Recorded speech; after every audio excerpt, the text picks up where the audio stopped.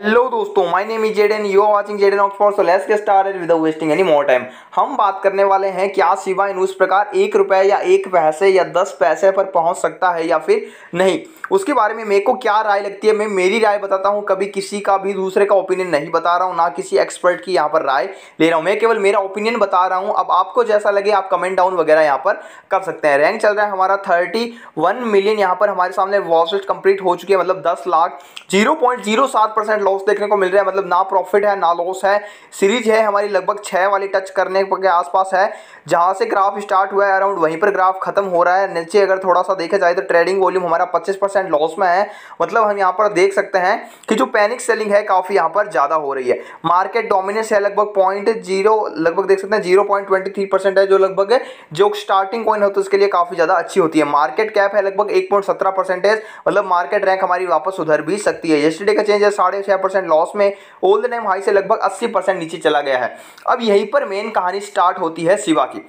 मतलब जब सिबा स्टार्ट हुआ था तो यहाँ पर उसके पास ना सिबा स्वाप था, ना कोई ज़्यादा एक्सचेंजेस थे, ना इसके पास रॉबिन हुड था, ना ई टोरो था, ना इनकी लगभग न्यूजेस थी, ना कोई बहुत बड़े बड़े डिसेंट्रलाइज एक्सचेंजेस थे, ना कोई स्वाप वगैरह था, कुछ भी इसके पास नहीं था। उस समय भी हम देख सकते हैं, लगभग इसने सभी ज़ीरो यहाँ पर क्रॉस किए, लगभग दो ज़ीरो मात्र इसके सामने रह रहे थे, और अट्ठाईस बानवे वाली सीरीज़ पर इसने टच किया है। मतलब हम यह तो मान सकते हैं कि बिना किसी भी चीज़ के ये वापस अट्ठाईस बानवे वाली सीरीज़ को तो टच कर सकता है। अगर बिटकॉइन वापस वापस शुरुआती दौर पर आ जाए। क्योंकि अगर आपको पता हो नहीं पता हो तो बता दूँ, जब बात चल रही थी लगभग मई की, लगभग जनवरी, फरवरी, मई की बात चल रही थी तो लगभग ओल्ड टाइम हाई पर था हमारा, लगभग बिटकॉइन की बात की जाए, छियालीस लाख पर तो मैंने भी देखा है, लगभग अराउंड बयालीस लाख, छियालीस लाख देखा है, उसके बाद में बिटकॉइन टूटा है। और उस टाइम लगभग यह उसकी नॉर्मल स्थिति शिवा की थी।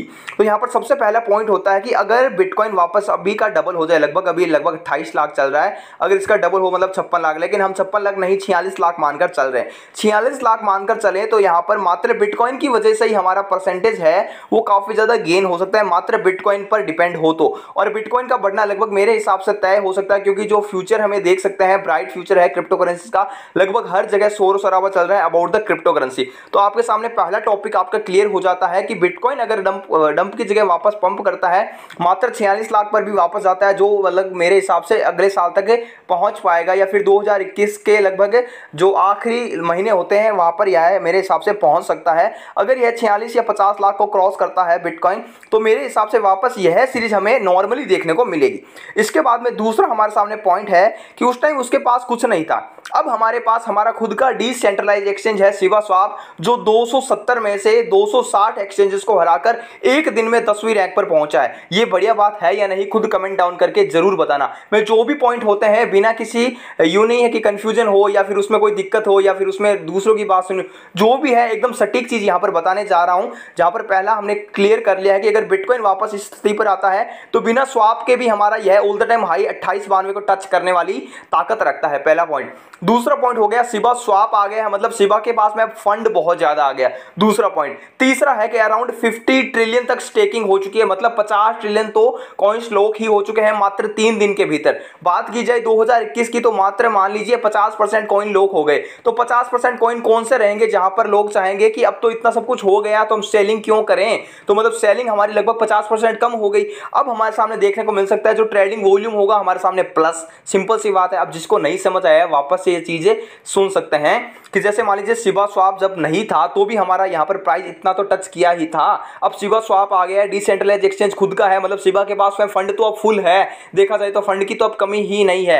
और 50 ट्रिलियन यहाँ पर लॉक हो चुके हैं। 2021 के एंड तक बात की जाए, मान लीजिए 50 परसेंट कोइन यहाँ पर लॉक हो गए। तो हम देख पा रहे होंगे कि 50 परसेंट सेलिंग तो हमारी यहीं पर खत्म, क्योंकि सेलिंग के लिए शिवा चाहिए तो शिवा तो हमने स्टेक कर दिए। तो शिवा का जो रिवॉर्ड मिलेगा, कोई भी नहीं चाहेगा कि उसको सेल करके वापस मैं यहाँ पर लॉस में आऊँ तो यहाँ पर लगभग सही चाहेंगे कि शिवा को लॉक कर रहने दिया जाए। लगभग छह सात महीने रहे हैं, एक साल रहे हैं तो और भी रहने दिया जाए। क्या पड़ा है हमें? पैसे की तो अभी ज़रूरत है नहीं सिंपल सी बात। इसलिए यहाँ पर तीसरा पॉइंट हमारा क्लियर होता है कि यहाँ पर शिवा की जो स्टेकिंग है, हमारी काफ़ी ज़्यादा परसेंटेज कम कर देगी सेलिंग के। इससे हमारी जो प्राइस है धीरे धीरे स्टेबिलिटी के साथ बढ़ सकती है। चौथा हमारे सामने आता है ई टोरो रॉबिनहुड जैसे बड़े दो तीन एक्सचेंजेस पे और पर लिस्टिंग होता है तो हमारे सामने एक ज़ीरो इससे हट सकता है। मतलब यहाँ पर एक पैसे वाली सीरीज़ यहाँ पर हमारे सामने टच हो सकती है। अराउंड लगभग 2022 या 23 की बात की जाए तो। मैं यूँ तुक्के नहीं मार रहा हूँ कि केवल 2021 के एंड से पहले एक पैसा हो जाएगा या दो पैसा हो जाएगा। ऐसा तो मैं कह नहीं रहा।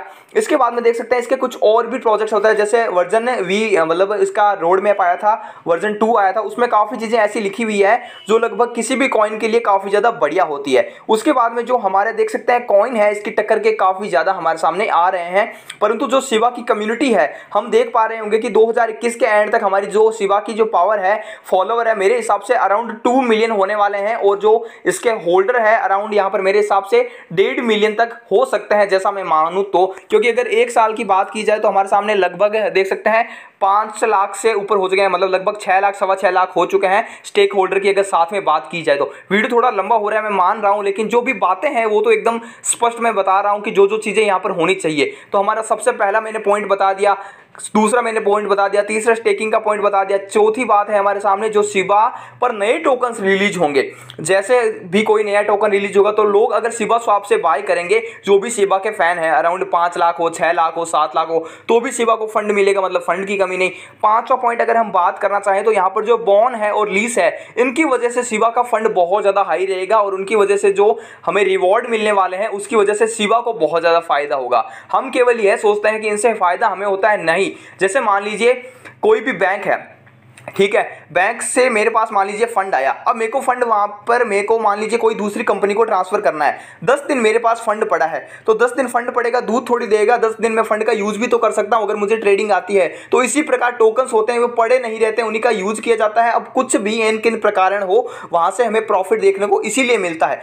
कोई भी जगह है, केवल यहाँ पर पड़े हैं तो उनका प्रॉफिट हमें कौन निकाल कर देगा? ना आप देंगे, ना मैं दूँगा, ना कोई और कंपनी देगी। तो सिंपल सी बात है कि शिवा का प्राइस मैं आसानी से मान सकता हूँ कि लगभग एक पैसे की सीरीज़ को टच कर पाना इसके लिए मेरे हिसाब से अच्छा हो सकता है अराउंड 2022 या अराउंड 2023 अगर यह एक पैसा भी टच करता है तो जिन लोगों के पास 100 करोड़, डेढ़ सौ करोड़ 200 लाख 2 लाख 10 लाख 20 लाख जितने भी कॉइन है, उनकी वैल्यू कितनी स्काई रोटी स्काई रॉकेट होती दिखाई देगी, उन सभी को पता है। तो हमारे पास में ये लगभग पाँच छह पॉइंट थे, इनके आधार पर मैंने यहाँ पर बता दिया है कि शिवा का प्राइस बिना स्वाप के भी अट्ठाईस बानवे वाली सीरीज़ पर अगर आ सकता है तो जब बिटकॉइन वापस ऊपर पंप करेगा तो हमारे सामने पहली सीरीज़ यह देखने को मिल सकती है, पहला पॉइंट दूसरा पॉइंट हो गया हमारे पास सामने सिवा की स्टेकिंग ज़्यादा हो गई है. तीसरा हमारे सामने हो गया सेलिंग बहुत कम हो गई. चौथा हमारे सामने हो गया बॉन वगैरह की लीज वगैरह की, जो भी नए टोकन हैं, उनकी वजह से हमारे जो पास जो फंड है बहुत ज़्यादा हो गया.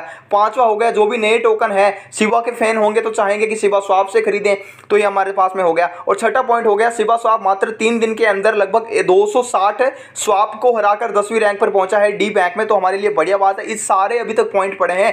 एक दो क्लियर हुए हैं अभी तक तो धीरे धीरे Robinhood listing Coinbase पर जो भी अभी मामला चल रहा है, वो साफ़ हो जाए। उसके बाद में बाइनेंस पर भी मान लीजिए शॉर्टेज की वजह से थोड़ा बढ़ा दिया जाए। या वज़ीर एक्स अब वज़ीर एक्स का भी यह तो नहीं चाहेगा ना कि हमारे जो फंड है अभी तक ऐसे ही पड़े रहे हैं, या फिर सिवा है विड्रॉल स्टार्ट करें। कभी तो वो अपनी जो भी सर्विस है, उसको क्वालिटी को बेहतर करेगा तो मैं भी शिवा को वापस अडॉप्ट करूँगा। सॉरी वज़ीर एक्स को अडॉप्ट करूँगा, क्योंकि मैंने वज़ीर एक्स इसी के लिए छोड़ा है, क्योंकि कई कॉइन्स ऐसे हैं जहाँ पर मुझे विड्रॉल ही नहीं करने दिया जा रहा है। तो इस प्रकार के सभी पॉइंट पर अगर देखा जाए तो यह सभी को एक साथ मिलाकर अगर इसका प्रोजेक्ट लॉन्च हो रहा है जिस प्रकार से तो मेरे हिसाब से यह अराउंड 2022-23 तक एक वैसा या उससे पहले या उससे थोड़ा बाद में भी आ सकता है। ये मेरी केवल प्रेडिक्शन है, मैं कोई बहुत बड़े आधार पर नहीं कह रहा हूँ, लेकिन जो भी पॉइंट्स थे मैंने यहाँ पर क्लियर कर दिए हैं। वीडियो का थोड़ा भी इंफॉर्मेटिव लगा हो अच्छा लगा हो तो आज ही टेलीग्राम चैनल ज्वाइन कर लीजिए। शिवा का हर अपडेट पाने के लिए बेल आइकन दबाइए चैनल को सब्सक्राइब कीजिए। जय हिंद, जय भारत।